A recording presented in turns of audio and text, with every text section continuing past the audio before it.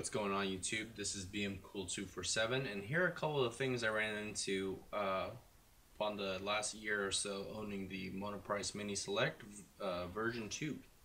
So the first part was the SD card, the micro SD card. The one it came with uh, printed and accepted most of the files that I uploaded into it, which was fine.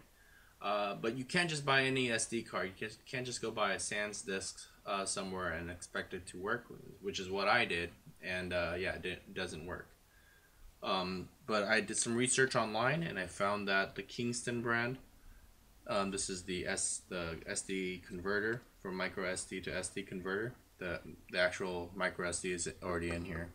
This brand works and I was able to print that guy uh, from uploading upon uploading the files from Thingiverse onto this SD card there.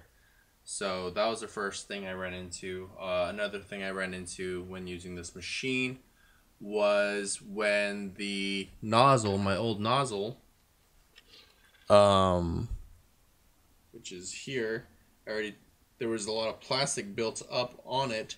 So much plastic that it extended to this wire here. It started getting this is new wire that I got, but the old wire it started the plastic started getting onto it and then it was so hot, you know, uh, 200 degrees Celsius that it started melting it and then it, it uh, melted my wire. As you can see there, it broke off the the wire there, the thermistor or the, the thing that detected the temperature so it was no longer good. So I had to replace the whole extruder head or extruder um, assembly, which is why I took all of it apart, um, and which is why these wires are all out there. I haven't put it all back together yet. So that was the second thing I ran into, which started leading to a chain of events. After replacing this extruder head here, I realized this thing was sticking out way too long because the extruder head wasn't exactly the same size as the uh, original one. So what caused what happened was this extruder head that was sticking out would hit my my build plate.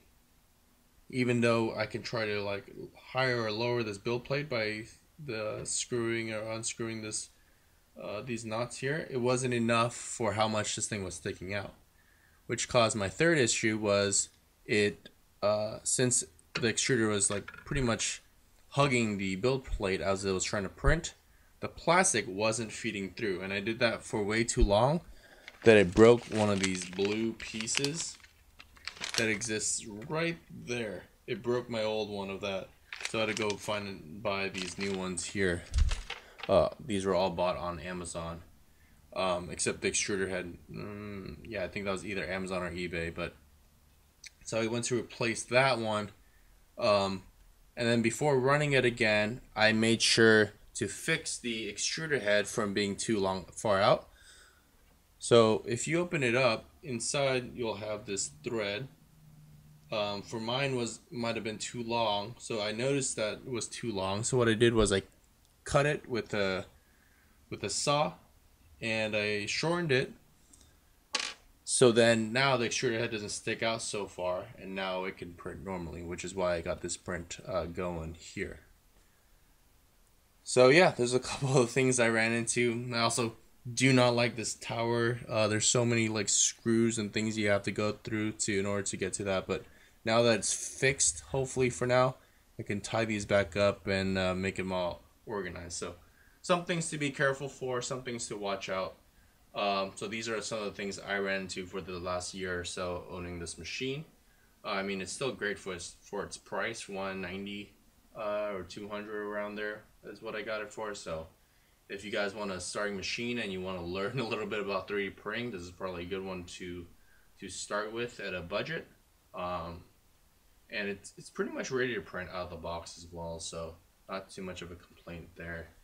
Uh, so yeah, I have more printing to do, so I'll keep you guys posted with uh, what else I learned from that. And uh, leave in the comments what you guys learned from it or what experiences you guys have had with this machine so I could help benefit others uh, who have this machine as well. So thank you guys for watching and uh, BM Cool logging out.